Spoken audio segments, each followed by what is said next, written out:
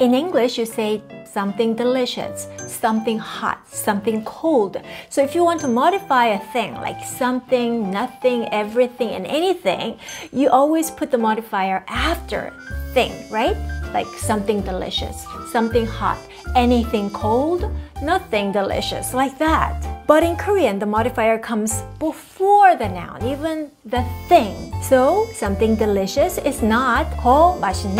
It's 맛있는 거. Something hot, not 거 뜨거운. It's 뜨거운 거. Something cold, not 거 차가운, but 차가운 거. So if you want to say let's go eat something delicious, you say 우리 맛있는 거 먹으러 가자.